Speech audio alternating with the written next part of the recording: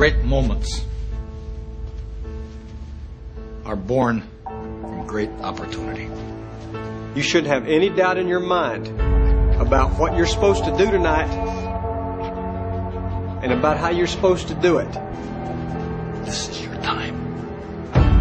Now, I don't want them to gain another yard. We got to go out there and we got to take it. Take their game and you shove it right back in their face. That's how winning is done. Team is something you belong to, something you feel, something you have to earn. If we don't come together, It's over. and I guarantee a week won't go by in your life you won't regret walking out, letting them get the best of it.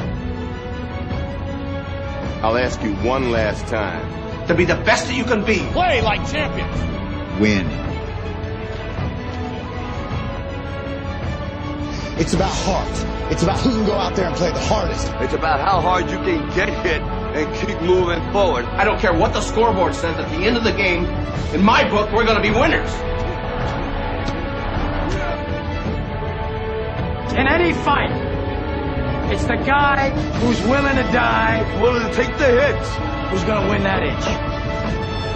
Let me tell you something you don't let anything, nothing, come between us. On this team, we fight.